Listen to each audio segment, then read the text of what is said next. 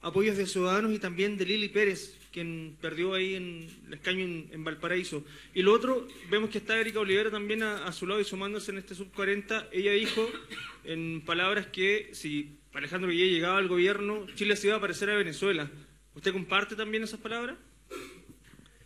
En primer lugar, eh, estamos y vamos a seguir recibiendo con los brazos abiertos a mucha gente que se va a sumar y se va a seguir sumando a nuestra campaña y cada día tiene su afán. Hoy día es la selección sub-40, mañana, pasado, tendremos nuevas incorporaciones. En el caso de Amplitud, ha estado siempre apoyando esta candidatura. Y respecto a lo que dice Erika Olivera, mire, es muy simple. Nosotros representamos un camino que nos acerca al desarrollo.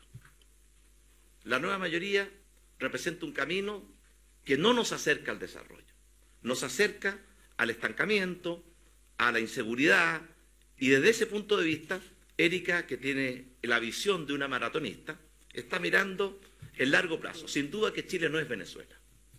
Pero cuidado, pero cuidado, porque los países no tienen comprado su futuro ni tienen garantizado su progreso. Eso depende de cada uno de nosotros. Y los chilenos tendrán que decidir si quieren acercarse al progreso o quieren acercarse al estancamiento. Eso está en juego en la próxima elección presidencial. Expresidente, preguntarle primero cuál va a ser el rol que van a tener esta bancada sub-40, van a haber despliegues donde, que van a realizar específicamente y también preguntarle por el tema de CIPER, estas nuevas vinculaciones, correos electrónicos entre la empresa CIPES con la presidenta de la UDI, eh, Jacqueline Van Rieselberg. ¿Qué le parece? Bueno, esta excelente bancada sub-40 va a tener muchas tareas y misiones. Por de pronto, les hemos pedido que aporten su juventud, su idealismo, sus ideas, su entusiasmo, que es muy importante.